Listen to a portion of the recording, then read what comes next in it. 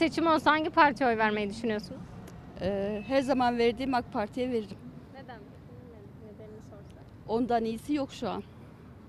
Yani Ee, hangi ilçede yaşıyorsunuz? kocasına. Kocasinan Belediye Başkanı'ndan memnun musunuz? Yani iyi. Belediyelik olarak iyi yani. Kayseri Büyükşehir Belediye Başkanı'ndan memnun musunuz? Memnunuz. Güzel. Mecliste e, nasıl bir e, milletvekili profili görmek istersiniz? Daha farklı insanları mı yoksa daha genç birini mi? Ya bence çalışan görmek istiyorum. Genç ya da yaşlı önemli değil de çalışsınlar.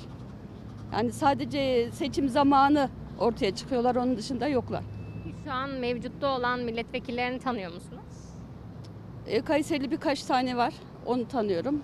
Genelde eskileri daha çok tanıyorum da şu an fazla bir şey diyemem ama diğer partilerinden e, izlediğimiz için diğer partilerden milletvekilleri daha çok tanıyorsun.